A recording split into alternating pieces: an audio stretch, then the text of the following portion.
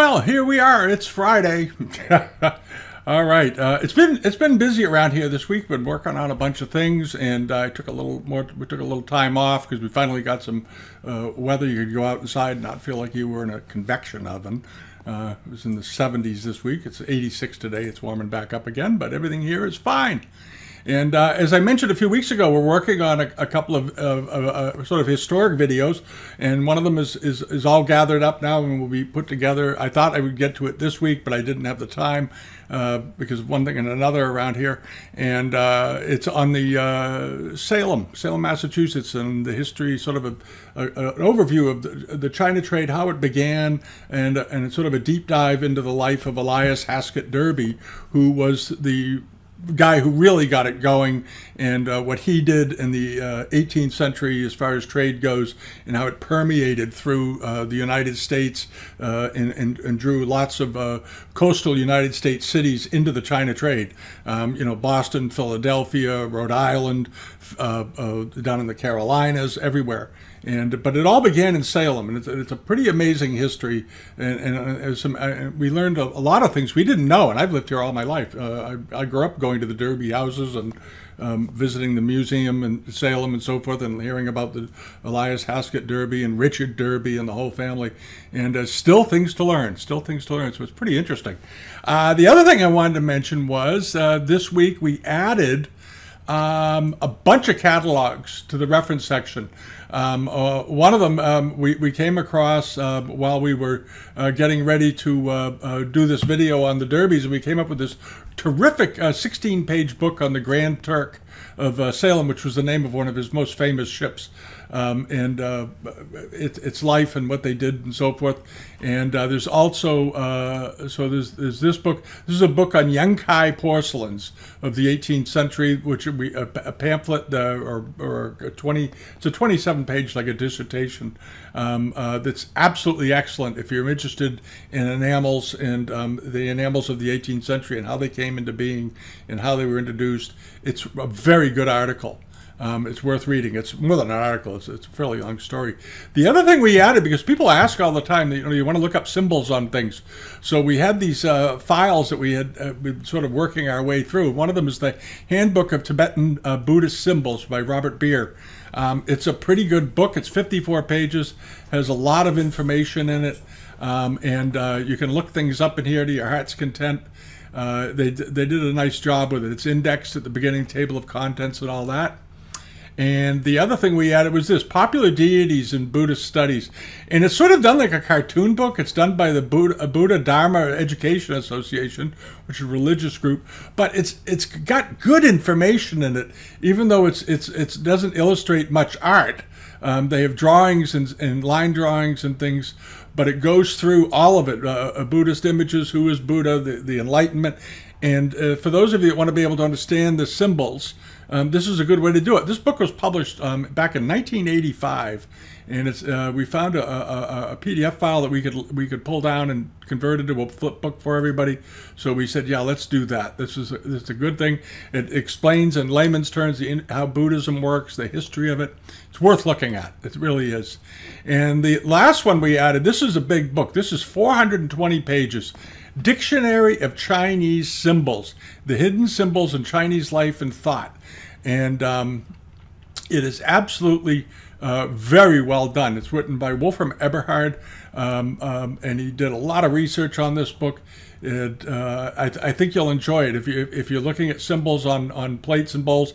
It's it's almost it's not quite on the magnitude of the silver book uh, that we have on here, the one that has all the uh, Chinese silver, um, uh, written by von Furst, which is like the book on the topic. Uh, but this is also very good. I have to say, it's off. It's awfully good. Um, and it was it was published in London and New York and so forth. It's well illustrated. Uh, there's a good introduction explaining how to how to use the book and so forth. So uh, if you're into that sort of thing and studying up, uh, it's it's pretty great. Uh, and in here you can see these are all the pages with all the uh, all the different symbols on them, and you can go through and you have something on a, an object, a painting or a bronze or something. You want to be able to look it up. Well, now you can. It's all in here, uh, and it's page by page, alphabetical order. um, and so forth. Bamboo baskets, bats, the whole bit, all of it. So um, um, you, you, you, I think a lot of you will find that useful in your in your endeavors. All right, and uh, uh, what happened in sales this past week? Weren't many. Um, we've added a, a, a, number of new sales to the global pages, and um, uh, the the uh, we'll get to it in a minute. But the Christie's, the first of the Christie's sales is online already. Uh, they haven't put up the catalog yet, so we can't do anything with that. But uh, we'll get to it. Now, this was these were the results from the Brunk sale down in Asheville. They had a sale just yesterday, and uh, it did pretty well. And there were some nice things in there. Uh, one of them was this uh, very nice Korean bowl um, inlaid uh, uh, with the white paste and white and black, sold for eight hundred and fifty dollars. Uh, uh, which I think is a pretty reasonable price. But I think the bargain of the Korean pieces, I'll show you in a second.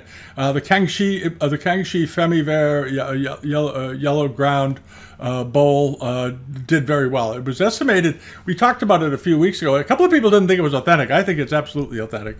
And if it was sold by Peter Rosenberg, it's absolutely authentic. Um, that's all there is to it. And it went through Vallin Galleries, which was Peter Rosenberg. He sold it for $4,500 back then. He was a very good dealer. He was one of the best dealers on the eastern United States. Uh, uh, he and his wife Louise, I knew them well. Um, we did business over the years. Um, it was this bowl. Um, that looks absolutely right as rain to me. And apparently, people went down and looked at it, and they liked it too. Um, and uh, it went for $7,500. All right. Now, uh, this was another neat little lot. This was an interesting lot. It sold for sixteen hundred dollars. Got a very strong price, but in it was this uh, nice piece of uh, uh probably uh, early nineteenth century Beijing enamel, and this very nice pewter tea jar. They, these turn up every once in a while. These these export pewter tea jars from Swatow. Love the form, very classic form, and and then this 18th century dish uh, done in, in, done in that pattern that many of you have seen from the 1780s. Uh, and and this lot did fantastically well. Um, sold for uh, uh sixteen hundred dollars. Um, I, I, I, didn't think the estimate was, was particularly strong on it. I thought I thought this, but I thought the lot was worth around maybe maybe uh, five to six hundred, five to seven hundred. Uh, but anyway, a lot of people loved it. Of course, the, the enamel plate was very attractive. So there you go. All right, and uh, they had some rank badges. The rank badges were good quality. There were none that were extremely rare uh, that I could see, but uh, the, and overall they did pretty well. And they went for a price that if you're a dealer, you could probably buy them and sell them on, on eBay or somewhere else, break them up and make some money with them. Uh, like the, this pair sold for 650, and uh, I suspect that each one of them on on eBay would bring between four and five, six hundred. So there's a little bit of a profit in that. Uh, this was the other Korean bowl that I, I, think was the bargain of the day over at Brunk's. Was this really nice lotus form cup? Um, this is a pretty rare form, and uh, I'm not sure why it went for so little. Um, uh, it, had, it, looked like it might have had a little restoration on the rim, but uh, boy, this is a, an unusual form. It's incise decorated and inlaid with black and white uh, paste. Nice looking little cup, absolutely authentic from the Goryeo period very very nice. It went for just seven hundred dollars. That that was the bargain of the week and as far as uh, Brunk's goes, I think. And then the, this nice uh, dragon panel silk silk remains strong. This is kesi work here. And uh, I think this was fairly reasonable. I, I uh, for kesi work for regular uh, silk work, nine hundred would be about right. But this is kesi, and uh, I think it, it, should have brought a bit of a premium. It was most likely a late 18th century example, but beautifully done, and went for just $900. That was a good purchase for someone. All right, and then uh, oh, I wanted to talk about these. I got four people this week through the Identification Assistance Service, the one where we, you know, you can send in pictures of things you have and you know, for 12 bucks, we'll tell you, we'll send you back a little video telling you, you know, going over the piece. And I had four inquiries. Um, uh, I had a couple before the sale, and I had two since the sale from people wanting to know what the story was with these bronzes. They were estimated at 20 to 40,000, and they sold for 210,000. And uh, I'll, I'll tell, I'm going to say what I told everybody else. Uh, here they are. Um, the thing, the problem I had with these vases, I think they're copies, and I think they're modern. And the reason is, is that one of them is a Jiajing mark and one of them is a Qianlong mark. They are both exactly the same size to, to the millimeter. and they have exactly the same decoration, but two different reign marks. One is has the Jiajing reign mark at the bottom, uh, down here, and uh, the other one has the uh, Qianlong mark. All right, and if, if anybody can explain how that's possible, I'd love to hear it. But I, my personal impression is that these these were these were new copies. Um, they, it was funny because they, they in, in a way they looked very Japanese, um, which I thought was strange. Um, they're very reminiscent of Japanese bronzes made during the Taisho period um, uh, and, and, and, late Meiji period, but with different symbols. They didn't use the dragons in this form, but the, the shape and style seemed to be pretty uh, pretty close to those. And they were they were they were sort of big. They were um, what were they 16 inches tall, and they weighed 43 pounds apiece and all this. They were acquired, but they were acquired in Japan and um, um, as I said, uh, I, I, said uh, I, they're modern, and they, you know, they, they look they look like they were made in Japan. They look Japanese to me, and I'm, I'm at a bit of a loss to understand uh, who the heck would buy them. Uh, this is the kind of thing that really uh, rattles me. I think if you go look them up, I did I did actually go and look these up to see if I could find something remotely close to them that had sold ever at any of the major auction houses or at the at the in the Sackler collection, Boston Museum. None of them. There's nothing like this in any of them. And um, um, given the fact that they're identical in height to the millimeter and exactly the same decoration, and they were both in the same sale at the same time, um, that to me it makes them very, very suspicious. Now, whether or not they actually sold for that is anybody's guess. I don't know um, what, you know what the deal is on on this, um, but uh, any rate, that was my impression of it. For those of you that are wondering, because I know a lot of you saw these and were wondering what you know what the deal was and why were they authentic. And my opinion is no. I believe they're copies, and they and I believe they could have been made um, either in China or Japan but the workmanship looks very Japanese to me. Um, like it was done in a really slick bronze workshop. Um, and they don't show a picture of the bottoms, which makes me very suspicious. So, um, any rate, uh, good luck to them on that. Uh, now, uh, the other things I wanted to mention was the Christie sales coming up. There's we're going to do a video on that. we are getting the pictures laid out. Uh, nice looking uh, sale um, with a bunch of jades and bronzes and all kinds of material. Let me see here. If we can get the, the page to load up. We'll be in good shape. Okay, in the sale are things like this. There's a, a very handsome pair of Guform jade vases, Qianlong, Marken period, estimated at 180 to 250 thousand dollars. Very unusual. I'm not sure I like the color that much. Uh, they look a little gray and ashy to me. Maybe in person they look different, but um, um, they're very rare form and, and, and they're good size. They're about 11 inches tall.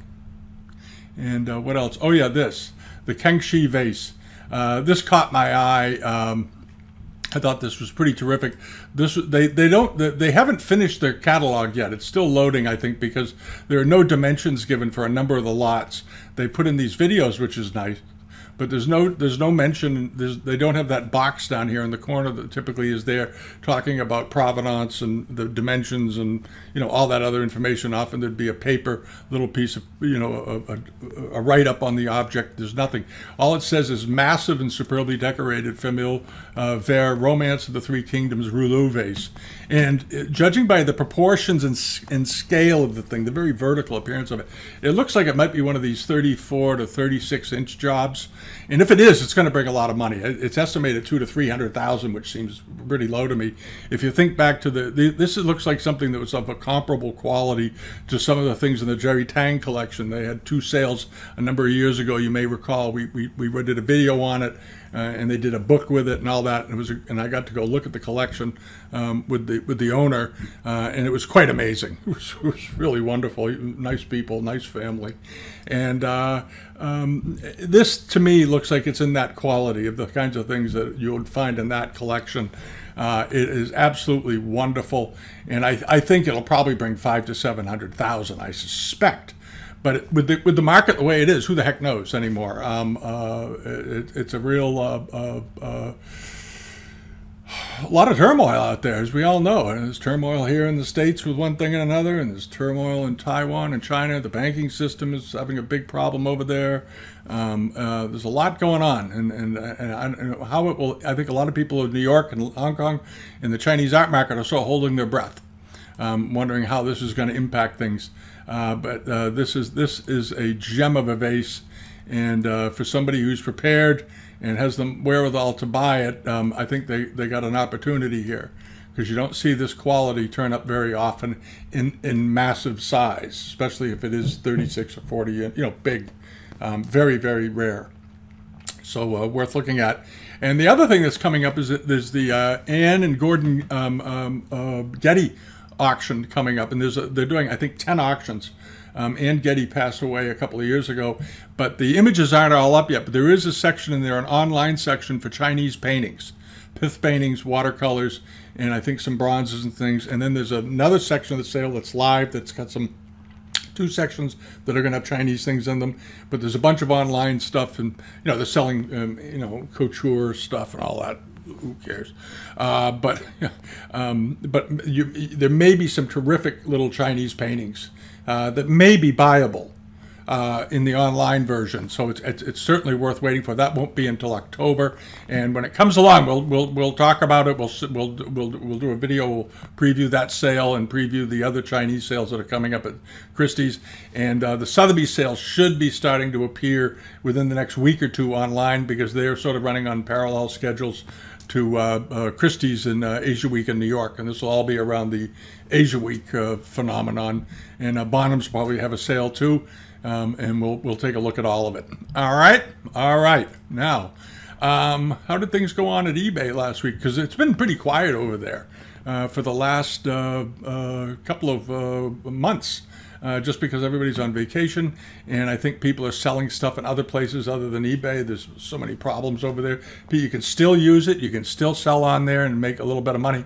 But uh, they they've just announced again another sort of, some sort of rate increase on something that they're doing uh, to try to, as we've talked about before, how they can, you know, just keep, without making the site any better, just keep squeezing people. So anyway, there we are. But this was up. This was something Ruface had up. It's had some, it's had condition issues, but I thought it was a very pretty vase, 19th century. It had a chip out of the top. It got a little damage to the base and so forth, but a nicely decorated 19th century vase. Uh, very, very pretty.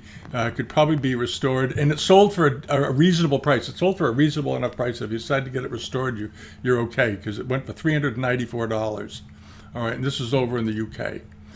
And uh, and then this this was something that the uh, Shangri-La guys sold last week. I had it on the page because it's not especially old. It's Republic period, but beautifully decorated and fitted with a uh, later pewter lid. Probably the lid was probably added in Europe um, with this old box with it, but nicely decorated. A very, very pretty little uh, uh, jar, tea jar. Uh, very attractive. Um, there's a better shot of it. It's a little bigger, but uh, very good decoration. Really great decoration. And somebody picked this up, I think, for nothing. I think they got a great buy on it. $255. That was a bargain. That was an absolute bargain. If it had sold for 600 I would have said, yeah, it's pretty. It should, should sell for good money. And this, the uh, the uh, Mei Ping, the miniature Mei Ping vase. This was only a, a very small vase, a couple of inches tall. You may recall a couple of weeks ago there was another small vase on uh, by the same seller, and it did very very well. Um, he seems to have gotten. I think this is probably looks like he probably got a collection of small porcelains. There's the bottom of it. Looks 18th century to me. Um, this did pretty well ended up selling for $2,125. Little miniature red Lang Yao. Again, Mei Ping bases are a popular form. Monochromes are doing very, very well. And um, uh, 19th century stuff is doing very well. So I think that, that was sort of a confluence. They didn't really date it, I don't think, did they? Uh, they dated it as 1800 to 1849. I think it was a little older than that. And I think uh, the buyers thought so too because the price was pretty strong. But regardless, whether it's you know 1780 or 1820 it's a pretty little piece of porcelain very very nice in a rare form because of its size and then this the the the, the plate that was marked as a rockefeller plate uh, i don't consider this a rockefeller pattern but that's just me uh, very nicely decorated beautiful enamels um, and it did extremely well it sold for $2236 uh, a very very handsome thing uh, but not a huge surprise, just a very good quality. All right, and then over here to this, another one of the Wall of China, Kangxi period, uh, early 18th century, and someone picked this up, I think, reasonably, $206. This was from Stubbsy Wubsy over in the UK. You've seen this pattern before. This pattern is in almost every book on Chinese export wares, early Chinese export wares. You see this played a lot. This is one of those iconic images, and uh, why it went for so little, I'm not quite sure. Uh, looked to be in pretty good shape all the way around. Um, don't know why. I thought maybe this would have brought you know four, four or five hundred. So I think whoever got that got a great buy, and the shipping was cheap, twenty-seven dollars from there to here from Europe. And then this, this was uh, I think one of the bargains of the week. Um, uh, Kangxi uh, period uh, Chinese Imari, terrible photographs. I think that may have hurt it. Um, very fuzzy, but uh, absolutely right as rain. Almost 14 inches in diameter. Big plate, big charger um, and, and it went for just $192. Don't know why. That was a heck of a buy, heck of a good buy. And then over to this, this was that Kakiemon palette uh, piece from Philip Cockburn um, over in uh, in Belgium. Um, um, you should use a darker background because the, the, poor plate got washed against it. But sort of a Kakiemon pattern with that very unusual branch uh, outer border um, uh, uh, above the cavetto uh, with nice gilding. Everything was intact on it. It was a very, very sort of a choice piece of porcelain, um, uh, uh, 18th uh, century.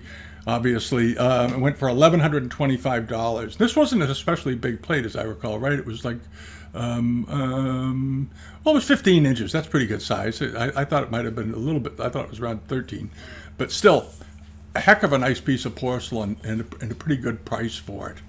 All right, and then hopping over to what's coming up on here, uh, there's this.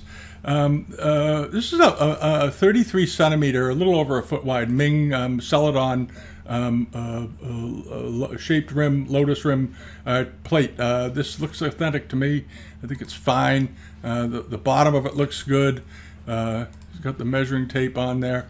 Uh, let's see here. It's up to $138. Ought to bring 800 to 1200 by the time it's done anyway.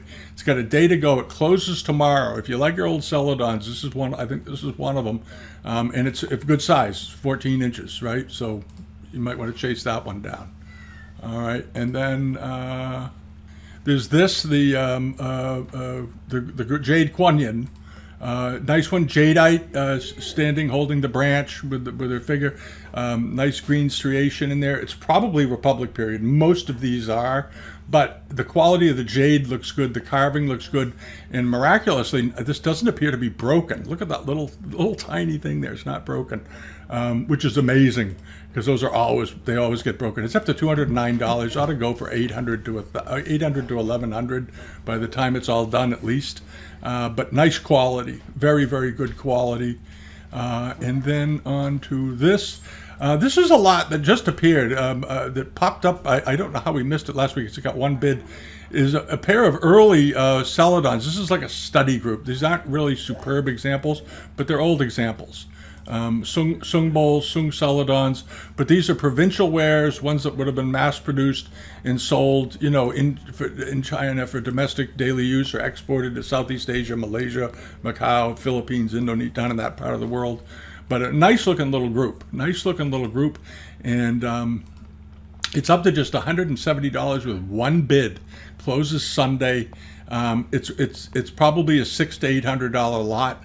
Um, would be a very nice way to buy it uh, because there's some good. I think they're, they're those are look to be genuine examples. He's got some other things that are for sale that are very questionable, but those look fine. Um, and then onto this, the big Chinese silk embroidery. Uh, it's a wall hanging, 58 by 60 inches. Um, it's got one bid, closes in two days. I don't know why this isn't getting a lot more attention. This looks like a pretty good silk. Um, uh, made in China, probably done during around 1900. It could have been made earlier, and they just had to put the, the, the tag on there to export it as well. You can't always tell how old something is by the um, by the fact that it's got a China stamp on it or a China mark, because especially on textiles, if they exported it after 1895, they have to put country of origin on here. But that looks like mid 19th century needlework to me. I don't think this I don't think this is a Republic piece of silk. Um, it'd be rather unusual if it was. I think it's an older piece that they just put the tag on it to get it out of the country uh, back 100 years ago.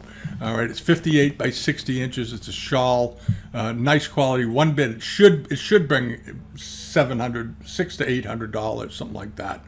And it's just got one bid. I don't know who the seller is. Uh, they are located in where are they located?